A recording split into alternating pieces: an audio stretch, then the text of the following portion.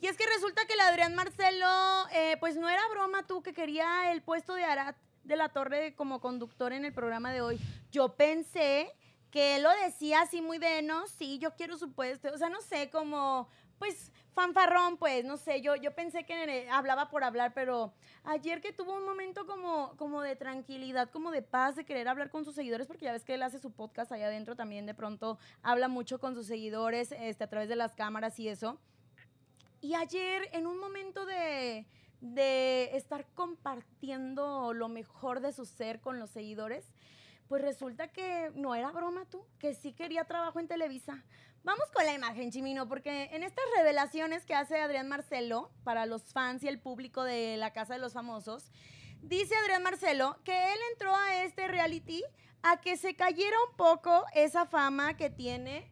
¿Puedes acercar un poco la imagen, Chimino, por favor, este, en la pantalla para que se vea más el, el bonito subtítulo y yo no tener que estar mm, regresando y haciendo zoom y eso, porfis? Este, ahí, ándale, ahí mero. Que se le cayera un poco la fama de ser alguien que odia a las mujeres. Y yo, ay, mijo, pues vamos por mal camino. Ya, ya te acabaste a todas las de tu cuarto. Ya sacaste a todas. O que odia a las gordas o a los gordos. Pero recordemos que se le ha pasado hablando él, Ciani Agustín del cuerpo de gala, que barrigona y que no sé qué. Lo bueno es que él no. Y dice, o sea, tengo puras famas muy tontas. Y espero que en estas casi seis semanas se haya logrado notar que soy alguien sensible. Ay, no. Que soy alguien que también tiene sus defectos, claro, pero que también, este, ah, bueno, dice que también soy buena persona y de buen corazón y luego dice, y lo que quisiera yo es, este, pues, ir trabajando para Televisa. Y dije, Andy, pues, salir trabajando para Televisa. Ojalá me den una oportunidad haciendo lo que me gusta, platicar con las personas, conectar, entrevistar y, ¿por qué no? Incluso hasta una oportunidad de actuar. Esa también fue una de las razones por las que yo entré aquí a la Casa de los Famosos México, dice. Este, también para que me sirviera como un aparador, para que productores pudieran considerarme e incluso aquí pues que es difícil demostrar este tu verdadero ser, pues para sus proyectos, ¿no? Ah, bueno, dice para sus proyectos, e incluso aquí que es difícil demostrar tus talentos, tus virtudes, en un encierro en el cual hay ocasiones en las que es bien difícil eh, porque sientes que te están provocando. Y ve con lo que sale, porque aparte del vato, ya sabemos que tiene este síndrome de, de persecución, o no sé cómo se llame, eh, diciendo que, que, dice, por ejemplo, hoy en la prueba, concursantes Ah, hoy en la prueba que Arad ganó y, celebró, dice, o sea, es que concursantes con él, cuando gana y grita huevo, pues obviamente yo me siento, dice, no manches, enfrente y pues aunque admires, lo admires y todo es algo que, te molesta.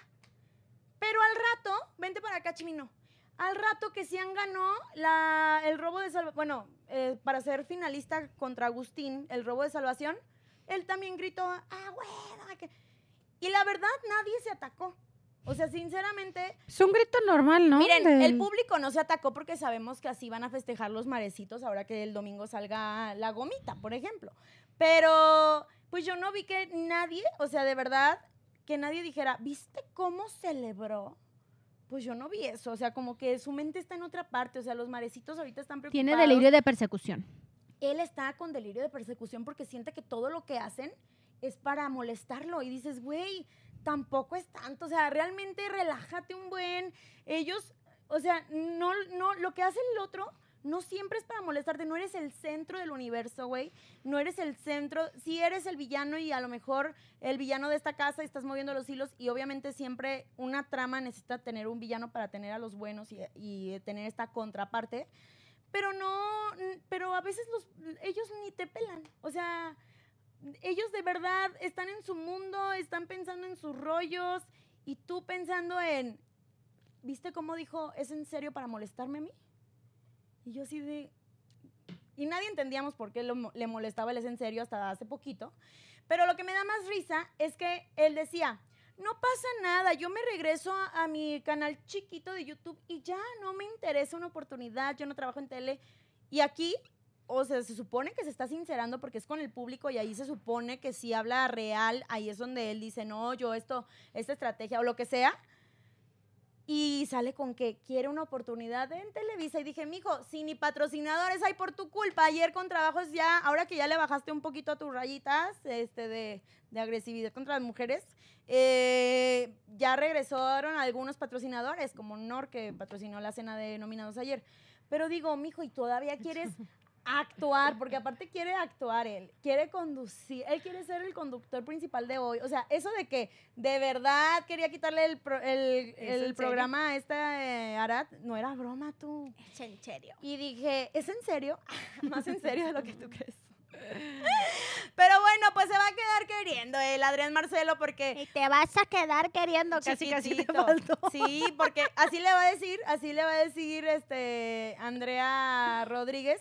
Ahora que vaya al programa de hoy, bueno, cuando vaya, que salga de la, casa, tiene que ir a fuerzas a hacer la entrevista por cuestión de contrato. Pero cuando vaya, eh, le van a decir, no, mijito, pero tú es la primera debut y despedida, y aquí no regresas, porque la Andrea ya te trae aparte, las Andreas ya te traen atravesado, pero mira, aquí en la mera yugular. Entonces, pues bueno, Lástima, Adrián Marcelo, esto que dices que si vimos que eras una persona sensible, pues la verdad yo no lo he visto, no lo he visto, creo que te ha faltado jugar bien tus cartas. Eh, pues no, no lo vimos, ni siquiera ayer que según esto iba, estaba llorando por sus hijos. No le vi las lágrimas. No le vi las lágrimas en ningún momento cuando la gomita le dijo eso de, pues no vi nada, pero y bueno. su chalán al lado haciéndole así. Ay, el otro, el otro, claro. O sea, diario, Ay, no, diario. no, Está enamorado. Está No enamorado de Adrián ellos. Marcelo. Pero bueno, ustedes déjenos en los comentarios su bonita opinión. También recuerden dejar aquí su bonito like, compartir y suscribirse a este canal. Córtale ahí, chino. Como ayer